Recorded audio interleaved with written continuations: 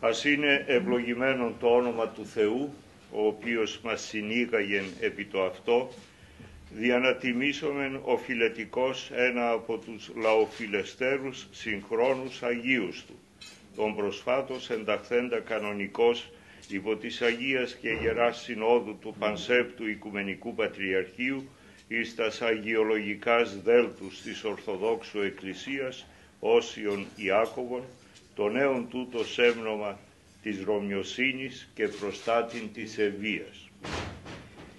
Είμαι θα βέβαιη ότι όπως και ο Μιλών, πολλοί των παρακαθημένων εις το χαρμόσυνον τούτο δείπνων,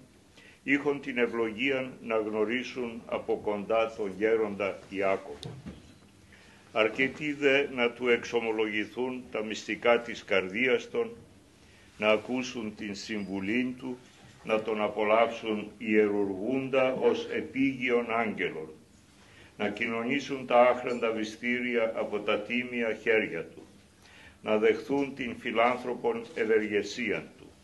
να ζήσουν ενδεχομένως κάποιο από τα πολλά θαύματα τα οποία τον ηξίεσεν ο δωρεο, δωρεοδότης Κύριος να επιτελεί έτη ζών. Δεν είναι ο γέρον Ιάκωβος αγαπητή ο Άγιος του καιρού εκείνου, αλλά ο Άγιος του παρόντος καιρού, ο σύγχρονος Άγιος, ο Άγιος των ημερών μας. Ο Άγιος που εβίωσε προσωπικός και οικογενειακός των ξεριζωμών του ελληνισμού της Μικράς Ασίας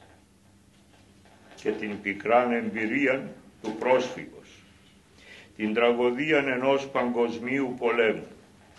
και την ασύλληπτον φρίκην ενός αδελφοκτόνου εμφυλίου,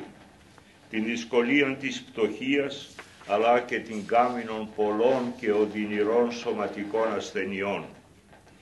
Εμακρύνθη σωματικός του κόσμου ασπαζόμενος των μοναχικών βίων, αλλά δεν ειρνήθη ούτε εγκατέλειψε τους ανθρώπους δια τους οποίους έτρεφε πάντοτε πολύ μεγάλη και απαθή αγάπη. Εις την ησυχία του κελίου του έφερε καθημερινώς όλα τα προβλήματα, τα βάσανα, τους φόβους και την αγωνία των χριστιανών